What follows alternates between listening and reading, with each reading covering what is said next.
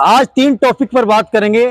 तीन में से दो टॉपिक खुद योगी आदित्यनाथ बाबा का बयान है कि युवा नशा ना करें, नशा नाश की जड़ है। उत्तर प्रदेश के अंदर कई बड़े खतरनाक नशे आजकल युवा कर रहे हैं।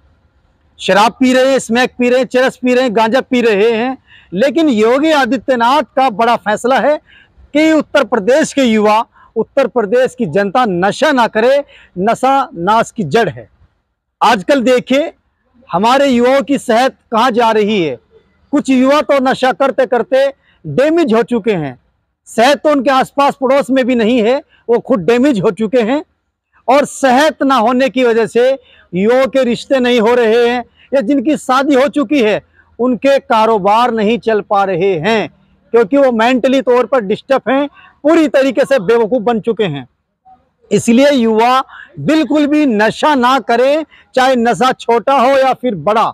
और अभी आदित्यनाथ महाराज बाबा का एक बयान और आया था कि उत्तर प्रदेश में जितने भी वाहन चल रहे हैं, उन पर जाति सूचक शब्द ना लिखें, क्योंकि आजकल के युवा हिंदू, गुर्जर, जाट, ठाकुर, राणा, खान पठान लिखवाकर गाड़ियों पर घूम रहे हैं, ऐसा ना हो। सीएम योगी आदित्यनाथ ने उत्तर प्रदेश पुलिस को आदेश दिए हैं कि वाहनों पर, जो मैं बयां कर रहा हूँ, कि खान पठान लिखवाकर कार बाइक घूम रही है, इन पर सख्त रोक लगाई जाए।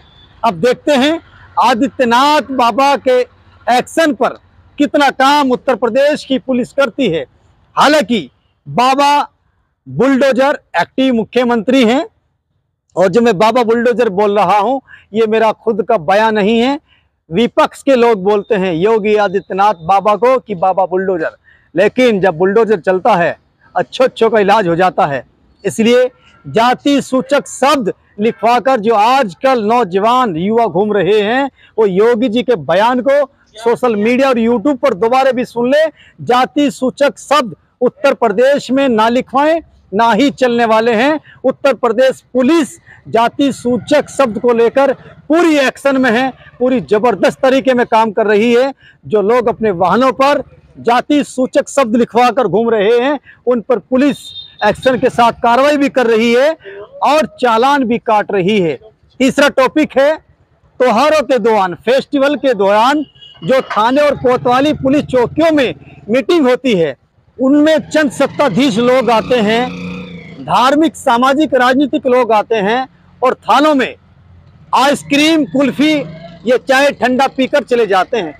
लेकिन सीएम योगी का और उत्तर प्रदेश का और डीजीपी और प्रमुख सचिव का जो आदेश है, उसका जो संदेश है, वो आम जनता तक नहीं पहुँच पाता। वजह क्या है, कारण क्या है, इस कार्यक्रम को ज़रूर देखिए। थाने में दस बीस लोग आते हैं, वो उसी कस्बे, गाँव देहात के लोग होते हैं। लेकिन संदेश तब जाएगा जब ज़्यादा लोग आएँगे, ज़्यादा लोग आएँगे तो ज़्यादा बात दूर तक जाएगी।